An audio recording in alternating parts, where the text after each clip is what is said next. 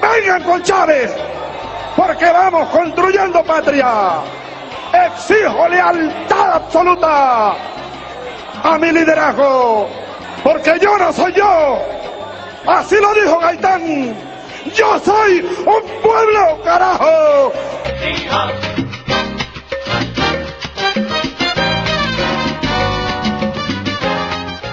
Nuevamente bienvenido a nuestro programa, su programa, Alerta Roja Boletín, que se transmite por TVR, ¿no? Sí. Los miércoles. TRP. TRP. Yo lo que pasa es que como soy de Acarigua Araure, Dice la NR. siempre dije la cuestión al revés.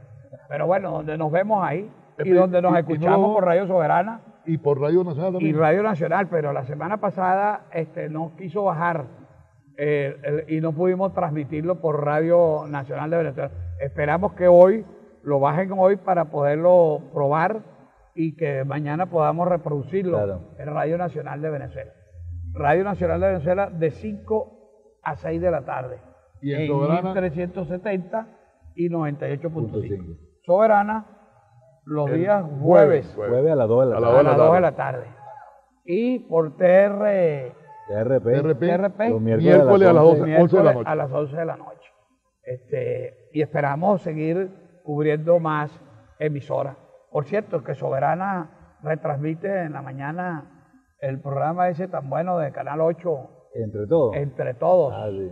Verdaderamente invitamos inclusive a sintonizar a Soberana todas las mañanas para escuchar, ver Ese es bueno porque ese uno, uno programa viene en su a carro a través esa del- hora. del ra- la radio. Tienen carro o Sí, lo vienen oyendo y, y ahí se paro hoy, por cierto. análisis bastante interesantes hace el amigo periodista García. Bueno, habíamos quedado, Alberto y Fernando, en que este evento que acaba de concurrir ahorita en Caracas, este, tenemos que unirlo mucho al evento o tenemos que en el análisis verdaderamente entrar a, a visualizar los delegados nuestros que van al tercer congreso. Porque este es un tercer congreso que, como bien se ha definido, es fundamentalmente Ideológico. ideológico. Eso significa que vamos a analizar precisamente el, deseo hacia dónde va a ir nuestro partido, hacia dónde va a ir nuestra revolución y hacia dónde va a ir nuestro gobierno en procura de ese análisis que se va a hacer el partido. El partido tiene que pasar a ser no solo la vanguardia de los movimientos proletarios, de los movimientos de los trabajadores, de las masas estudiantiles, sino también y fundamentalmente el partido tiene que convertirse en el elaborador de ideas. Hacia Generador de dónde, política. que- generador de política, hacia dónde queremos llevar la economía del país. Mira, lamentablemente, Néstor y Alberto, eh, se ha distorsionado ese objetivo. Se ha privilegiado la elección de delegados. Así es. Se- o sea, se está privilegiando la burocracia antes que el problema político. Y en el marco de una guerra como la que estamos, a la que estamos siendo sometidos, tenemos que privilegiar es precisamente lo político Claro. y no lo burocrático. Y es fundamental que el PSV asuma el papel de vanguardia, que es lo que históricamente le corresponde. Y era lo que quería Chávez. Sin embargo, vemos que se queda en el plano electoral y no trasciende. Es sumamente delicado. La otra cosa que debería resolverse en este Congreso es la incidencia de mucho peso del gobierno con la autoridad del partido. Pudiéramos decir que el gobierno es el que dirige el partido, cuando debería ser todo lo Así es, contrario. Alberto. Y fíjate que eh, una de las cosas que a mí me preocupa, me permito exteriorizarla con ustedes, es que este es un congreso que para mí era evidentemente a ir a producir ideas, ir a ver cómo vemos nosotros el desarrollo de nuestra revolución para los próximos 10 años, hasta para 2019, cuando finalizaría eh, el segundo programa del Plan de la Patria que nos dejó Chávez y cómo abordaríamos cada uno de los espacios que tenemos que abordar. Pero yo he visto que realmente este Congreso se ha convertido en una especie de demostración de fuerza interna, donde mucha gente pretende ir para llegar a demostrar que su fuerza que representa dentro del partido es mayoría, independientemente que el delegado que llegue vaya a ser generador de ideas o vaya a ser simplemente un levantador de manos. Se ve este, y eso fin- es lo que me este fin preocupa mí. de semana se vio en las redes sociales como si fuera una pelea entre grupos, Entre no en tendencias Claro. políticas. Es No que es- vi- no- vimos, no vimos una vieja debate. práctica, para No es terminar producto esta del parte, debate. vimos una vieja práctica muy cuarto republicana, donde yo recibí personalmente mi correo, no se te olvide de votar por fulanita de tal, a ella la necesitamos, pero ni siquiera decir por qué, ¿entiendes? Sino simplemente vamos a votar A mí, por a mí también me llegaron los mensajes, man. ¿Entiendes? Y yo dije, bueno, Dios mío, pero esto es lo que estamos nosotros ventilando. ¿Esto es una elección de una acción democrática, de un COPEI, o es la elección para un partido revolucionario que va a producir ideas revolucionarias en Caracas en un congreso trascendental?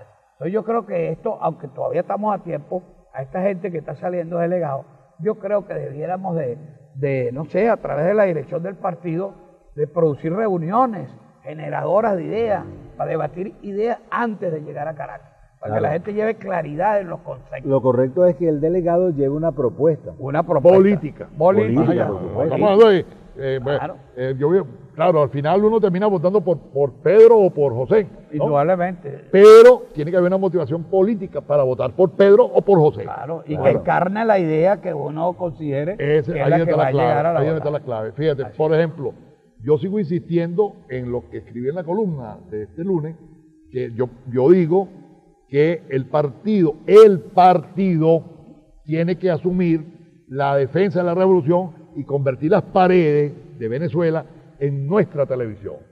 Porque la respuesta tiene que ser todos los días y a toda hora.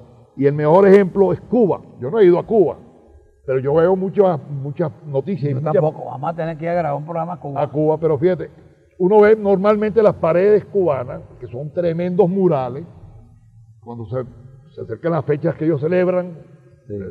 eh, entonces promo- promueven la política a través de las paredes, volantes. ¿Por qué nosotros no podemos hacerlo? Pero fíjate, nosotros en la escuela de gobierno estamos promoviendo un concurso muralista. Pero tú sabes por qué no lo hemos hecho.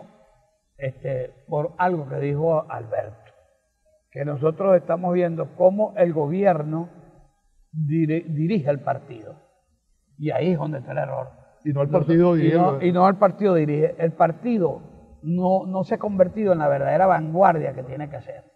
Tiene que sentir la Y- y- y revolución. estamos en un momento en trascendental. Claro. Si nosotros estamos ante una guerra económica, una guerra psicológica, una guerra mediática, la vanguardia es lo- la clave. Nosotros tenemos que romper con el esquema del clientelismo político en la VC.